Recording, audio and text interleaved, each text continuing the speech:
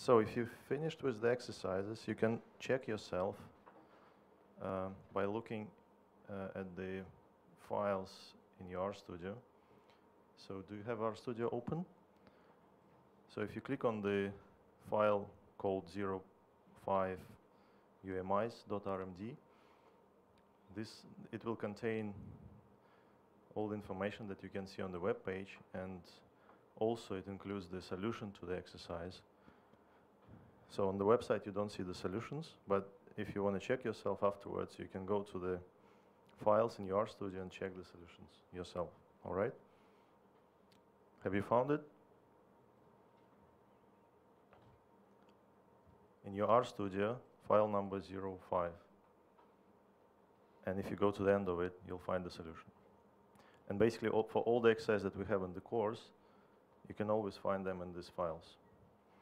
The numbers of the files are a bit different from the website, but you can still figure out how, where, where the solutions are.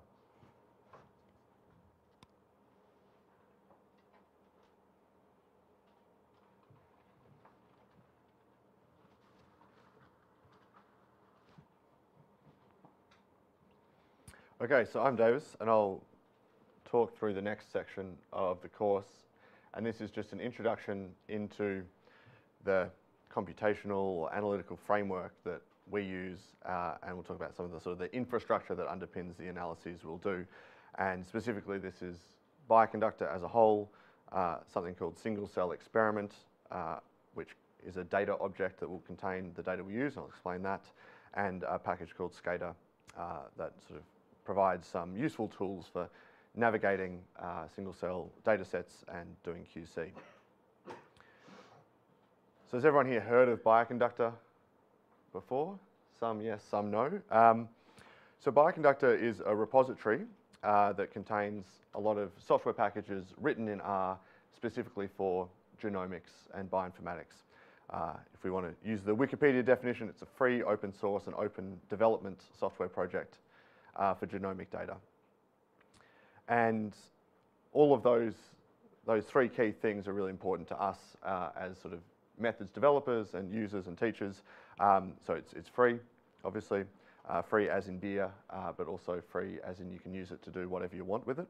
Um, it's open source, meaning that people who contribute methods and packages to Bioconductor uh, show their working, as it were. All the code that they use in their packages is available for anyone to look at. Uh, so that is really powerful um, approach to doing development because it means that other people can more easily build on work that people have done. Uh, and it's also a great way to catch errors. If other people can look at what you've done, um, they might find bugs and contribute to that. And over about the last 15 years or so, um, Bioconductor has become a really large resource for the bioinformatics community. So there are something like 800 packages in Bioconductor available at the moment. Um, it has two releases per year. Uh, one of those releases is today. Uh, so you're right on the cutting edge of the current release of Bioconductor, which is a bit stressful for Vlad's uh, putting together the course, but uh, you have the benefit today of um, getting a very first look of the next, the, or what will be the current uh, Bioconductor release for the next six months. Um, and so it has this nice uh, approach as a user where you get access at any given point in time to uh, the release version of Bioconductor, which is meant to be stable. You can work with that for six months, and then at the end of that six-month period, you can upgrade to the next version of Bioconductor, um, and then you get an updated version with all the work that the developers have been doing over the past six months to improve their packages and methods and all that sort of thing. Um, one gotcha with using bioconductor tools is that it's closely linked to the most recent version of the R software itself. So um, in using these tools, it does pay to keep up to date um, to the extent you can with the latest version of R and the latest version of these tools. And that's uh, you know, generally good advice when using any software is to keep it updated uh, as much as possible and holds true for this as well. One of the things we really like um, about Bioconductor is its, as well as its approach to releases, uh, is that it has a lot of quality controls built into the project. So when packages are submitted to Bioconductor. They're reviewed by the in-house Bioconductor team, so R and bioinformatics experts. And uh, also the, the packages in Bioconductor are checked, they're built uh, overnight, every day, uh, on Windows, Linux, and Mac OS. So um, I think more than any other source of software in bioinformatics, uh, you have a very the highest sort of chance of success with bioconductor packages that you should be able to install them um, on any platform at any given point in time. And inbuilt in that is also checks on the, the validity of, of the, um, the results that the packages present as well. So as well as the sort of the vast array of contributions that people can and have made uh, to Bioconductor, there are also some really useful sort of infrastructure that the Bioconductor core team maintains. And that sort of often happens out of sight of the user, but there are some really powerful ideas that underpin uh, the use of Bioconductor for hands-on day-to-day data analysis. And a key part of the Bioconductor work that the, the core team has done over the years is developing methods and specifically classes. So that's a class is uh, a particular type of object in R that contains data and information in a defined structure. And so Bioconductor has developed these classes that make it very much easier and more reliable for developers to build tools and for users to do analyses. And one of the key ideas, which is um, adopted in this single cell experiment class, the fundamental idea is that we want to have data in possibly in many different guises for a given experiment or study contained along with metadata information relating to that data set. And we want to have it in a specific class where we know exactly what to expect from the class. And so we can manipulate it in very reliable ways. So one of my great fears as a bioinformatician is that I have some matrix of data in my environment and I have some sort of annotations of that data and I decide that I want to you know, subset some cells out of this matrix and I need to correspondingly update my annotation as well. And if they get out of whack, then I could inadvertently make mistakes like calling genes the wrong thing or misannotating cells, assigning them to the wrong group or whatever. And so the bio bioconductor classes, which are quite strict in their structure, um, help us avoid mistakes like that. Uh, so as we'll see, uh, what single cell experiment makes relatively straightforward is the ability to do simple things like subsetting the data set. So like saying, okay, we don't want to use these cells anymore, we want this subset of cells, or we'll take this subset of genes, or we'll only take the cells from this particular group. And we can do that sort of subsetting and manipulation uh, in a very reliable way, knowing that when we choose a set of cells we want, then the corresponding cell annotation information will be uh, brought along reliably with it and similarly at the gene level and so on. So to speak a bit more specifically about the single cell experiment class, um, this is a new class uh, introduced uh, into the release version of Bioconductor in this latest release. Um, and so technically speaking, it's an S4 class. Um, you don't need to worry about exactly what that is, but R has several different types of class. Um, S, uh, single cell experiment is an S4 class, which means it's a stricter type of class. And it's been specifically designed by uh, a group of developers engaged with the Bioconductor project uh, to support single cell uh, experiments. And fundamentally what that means is we can contain our expression data in this object, cell annotation information, gene annotation information, and also some specialized methods to store and retrieve things like spike in information, uh, dimension redu dimensionality reduction coordinates, so PCA or T-SNE representations of cells in a lower dimensional space that can be stored very conveniently in the object, uh, and size factors for normalization and things like that.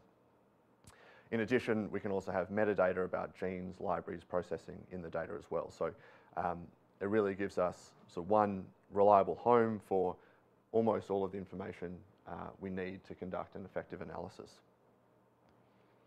So it's uh, defined in a package called single cell experiment. Uh, so we can load that into an R session uh, and this gives an example of constructing a single cell experiment. So you can see there's a little bit of effort up front to actually build the object in the first place. So in this case, we're simulating uh, Poisson counts to give us a count matrix. uh, we can assign row and column names to that matrix, as you can see in the code there. And then this, there's a function called single cell experiment, uh, which produces this object SCE, which is this single cell experiment object uh, that we'll use, uh, we'll demonstrate here. And so the important sort of bits of jargon, I suppose, that you need to know when interacting with the single cell experiment object are that we have an element of the object called assays or assay data, and that's where our expression data lives. And the nice thing with this is those, it's designed to be quite general, so it's called assays, that's a very general term. And the nice thing is that within that assays element, we can have various different representations of our expression data. So here, we've defined a list with an, uh, the count matrix as an element of the list called counts, and where that's forming uh, the assays element of our single cell experiment object. But what we can do is extend that so we can not only have a count matrix as expression data, but we could also have, say, normalized counts as another expression matrix in our object, or log scale normalized data, which we often uh, use for visualization and dimensionality reduction and that sort of thing. And so this is where the sort of the extensibility of single cell experiment is really useful because in the same object, we can have several representations of our expression data, uh, which is often necessary for the different sort of tasks we want to do in a single cell RNA-seq analysis. There are two other sort of lines you can see in that uh, call constructing the SCE object. One is defining the row data. So we're in this sort of bioconductor paradigm where we, sort of for conventional and historical reasons, uh, we have rows representing genomic features, so genes as we mostly think about them in this context, and columns representing cells. And so the row data in a single cell experiment object uh, contains the gene annotation information, and the col data in a single cell experiment object represents the cell annotation information. And so they're data frames. Um, so obviously here, there's not much going on with these. We've just defined gene names and cell names as our row data and col data respectively. Yeah?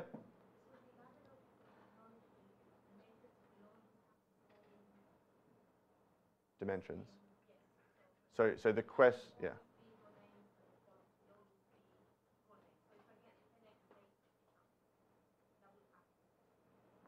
So the question, as I heard it, was, um, so will the different expression matrices you could define always have the same dimensions?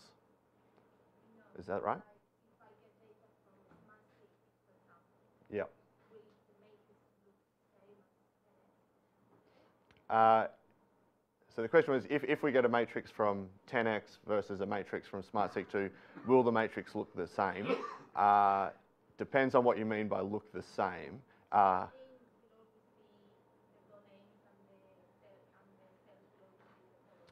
yes, so in the sense that when we construct our uh, single cell experiment object, regardless of the source of our expression data, we'll always want to form the expression matrix such that the rows represent genes and the columns represent cells. So it may be that uh, from what, whatever source we've obtained the data matrix, someone might have given it to us the other way around. So cells as rows and genes as columns. In that case, we would want to transpose the matrix to get it in this particular form because that's what uh, this particular data class expects. Yeah. Yes.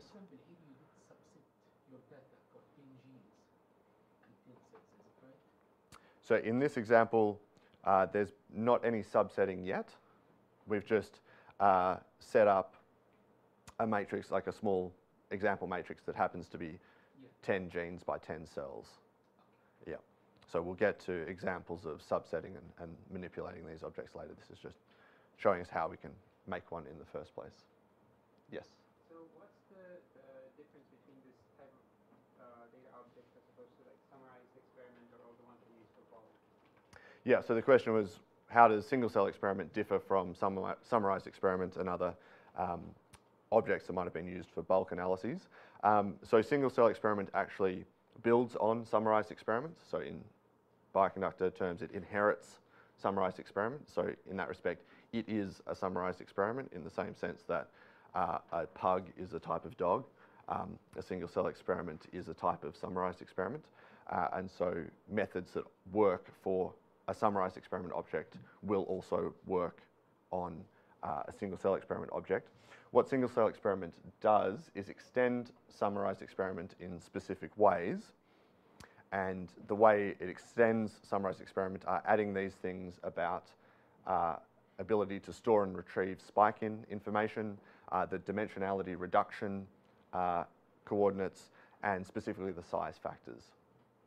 So when we were discussing among the developers what we wanted in a single cell experiment class, we wanted to leave it fairly general. Like we, we didn't want to sort of overload it, but uh, when we were thinking about doing single cell uh, analyses, we're thinking spike in information is so common and needs to be treated carefully that we want that as a core feature of the class. Uh, and again, dimensionality reduction, you just will always do, as far as we can tell, for any single cell um, analysis. So we want to have that as a sort of core element of the class. So they're the specific things that are not present in summarized experiment that we think are useful for, for building on here.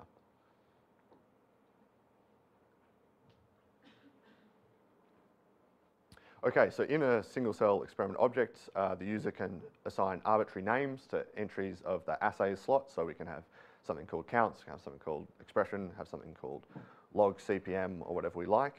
Um, but to assist with interoperability between packages, uh, some suggestions for what the names should be for particular types of data are sort of uh, provided a priori based on what we think are, are commonly needed and used things. Uh, so there's sort of a defined counts name, which we intend to store raw count data. So that might be uh, the number of read counts per gene, per cell from SmartSeq uh, 2 dataset or the UMI counts uh, from a 10x dataset. Uh, there's norm counts, sort of name, uh, which uh, intended to be normalized values on the same scale as original counts.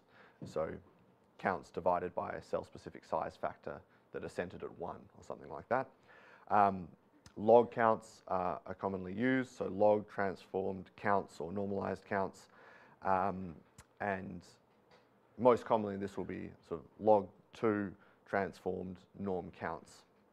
Uh, so, and often with an offset of 1, so we're not trying to take the log of a zero value.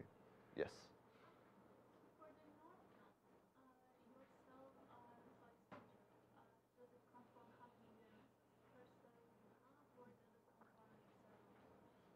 So the question is, for normalized counts, does the size factor come from the total number of counts per cell or from something different? Was that the question?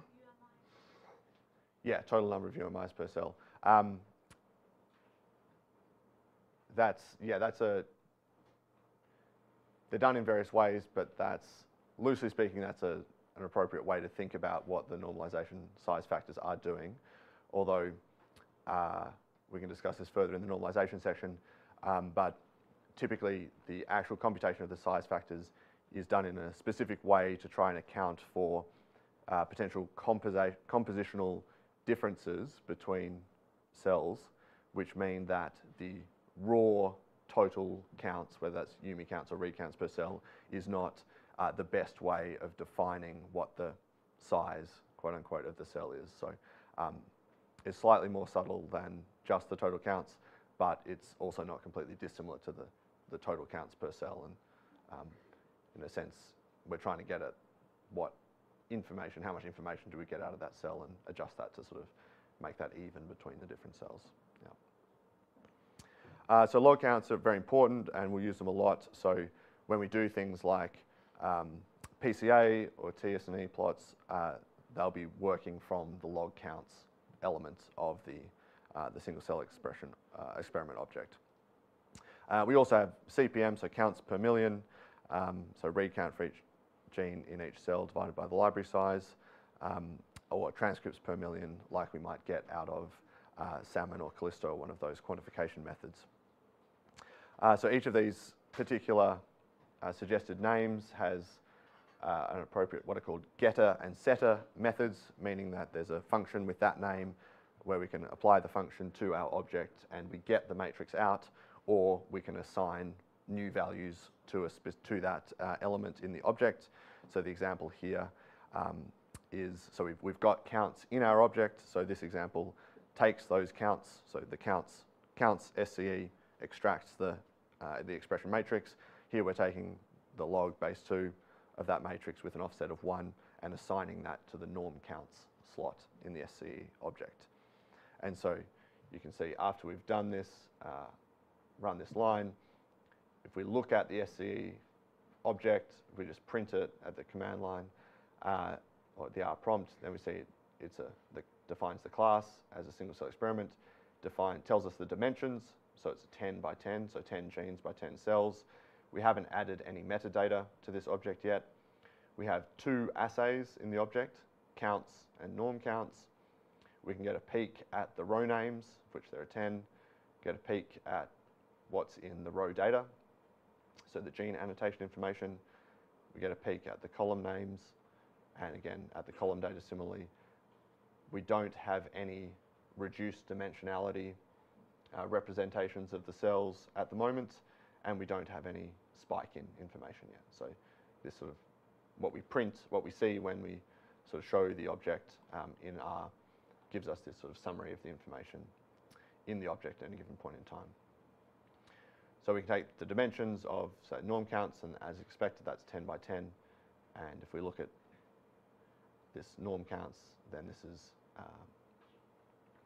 showing us the values. So those, in this case, log 2 counts, um, which we could also quite appropriately store as, as log counts in this object. Okay, so that single cell experiment um, class sort of underpins the analyses we'll do. And the big advantage of it, before I get to the scater, is uh, so for the user, it's reliable and convenient. You've got your data and your annotation information packaged up into one object uh, that you can then carry around and manipulate safely. Um, the other big advantage of it is that if the data is in a well-structured, defined class like this, then developers can develop methods uh, designed for this class where they know exactly what to expect. And that's really important for a developer trying to develop robust methods and software that won't break at, you know, when the wind's blowing the wrong direction. Um, if your data is in a single cell experiment uh, object, then I know as a developer that I can expect to see count data in there, or I can expect to see log counts, that I know where to go to look for cell annotation information. I know where to go to look for gene annotation information. And so this is a, this sort of class-based development is a really powerful idea that has driven a lot of bioconductors' success. And uh, what's really nice now is that a lot of bioconductor developers are taking uh, advantage of this single cell experiment class now. So if you put in the, the bit of work to get your data into this class, then there are a lot of uh, tools now that will operate immediately on that single cell experiment data. So that makes it a lot more convenient for a sort of a workflow. Once we package up our data in this class, uh, then there are a lot of methods that will immediately operate on the data in that format that make life easier for us as users. And so it, it helps out the developers. Um, so the other thing we'll mention is sort of the, the infrastructure for our analyses uh, is the scater package. Uh, so I wrote this package uh, with help from several colleagues, so uh, take everything I say about its uh, various virtues with the appropriate grain of salt. Um, but we like it for providing useful methods for quality control, data visualization, and pre-processing um, as a sort of doing some important necessary steps uh, as part of our single cell workflow before we get to more specific modeling like pseudotime analyses or clustering or differential expression. Um, it's just a fact of life that uh, even when the sequencing and the experiment has gone well in a single cell study, uh, there'll be a great variation in the performance of the cells and the quality of the data we get out of the individual cells. And so QC at the cell and gene level is, a, is a, just an unavoidable fact of life for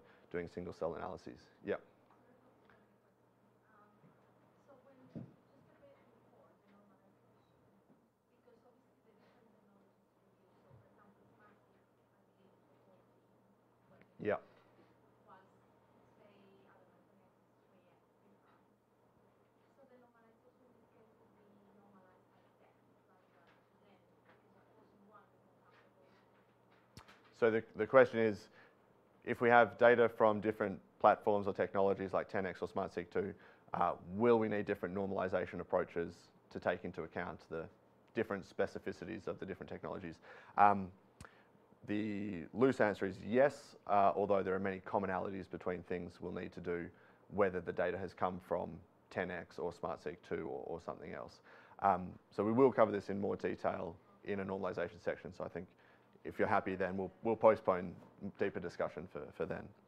Because it, it is an important and broad topic um, that I think uh, yeah, warrants, warrants lots of discussion. Um, so the scater package is a bioconductor package. It uses the single cell experiment class as of this release. Um, and so gives us the ability to do things like automated computation of QC metrics.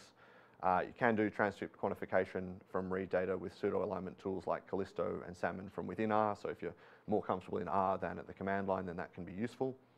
Um, it adopts this data format, the single cell experiment that's become the standard in Bioconductor. So uh, that means it interacts really nicely with the downstream tools. So if you put your data in a single cell experiment object, use scater for the QC, uh, then you retain that data in a single cell experiment object that's ready to plug into many other tools that other people have developed. Uh, it provides a lot of visualization tools, uh, which I find very useful. It's integrated in Bioconductor and also, which we'll discuss later on, um, offers some simple normalization methods that can be useful. So uh, we highly recommend using scater, but of course we would say that. Um, but it's the basis of this part of the course. So um, I'll show you this little diagram which can uh, lay out some of the workflow um, for doing QC, filtering, normalization, that sort of thing. Um, I wrote this figure when scater was still using an older type of data structure called an SCE set. Um, so in the, you know, the, the, release that's coming out today of Bioconductor, um, we've switched over to using single cell experiments as the, the data class underlying it. So everything in this figure is still correct. You just need to mentally substitute uh, single cell experiment for SCE, um, SCE set object. But what we can do, so at the start, whether we've we've got uh, raw RNA-seq reads in FASTQ format, or we've got uh, a data matrix defined from some source. Um, we want them in a single cell experiment object now that, as I've said, contains that assay data, cell data, gene annotation data, and all that sort of thing.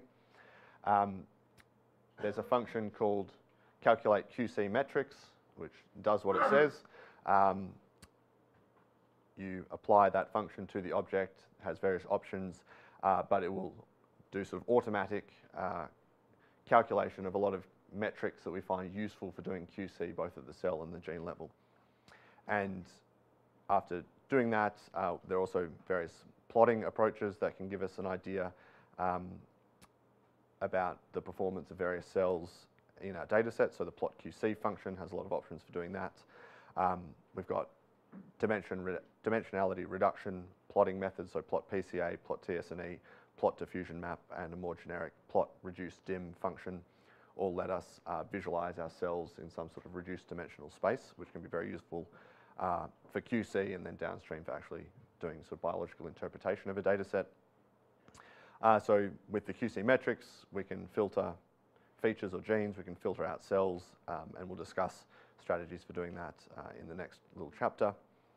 Um, there's a normalized expression function uh, for doing simple normalization, so sort of basic size factor normalization.